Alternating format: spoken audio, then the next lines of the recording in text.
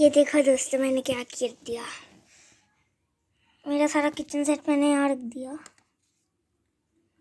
तो दोस्तों कैसा लग रहा है? और बारबी भी यहाँ बैठी है।